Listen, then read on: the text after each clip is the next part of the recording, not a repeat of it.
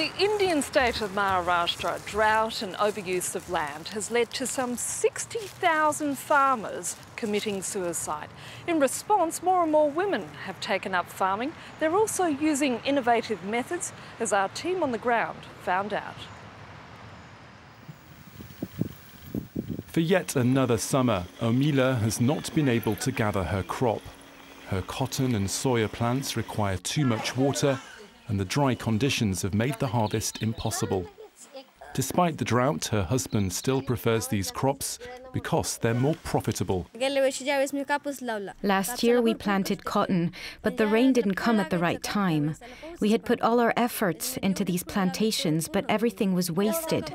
Other people can eat various vegetables, bread, and whatnot. I can't provide it to my children because I don't have enough money.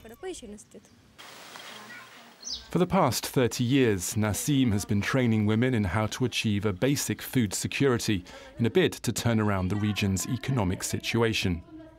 Today, Omila has come to take part in her first organic farming class. In India, only a fifth of women own farmland. To date, nearly 145,000 have attended these workshops. Nasim wants to persuade farmers to plant crops which are more suited to this region's erratic climate.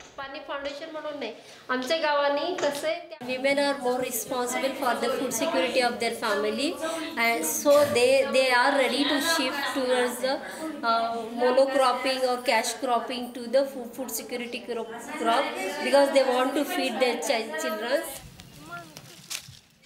Kamal's success story is proof that this model can work. Two years ago, she planted just soybeans, but today, organic vegetables and cereals have taken their place bringing prosperity to her household.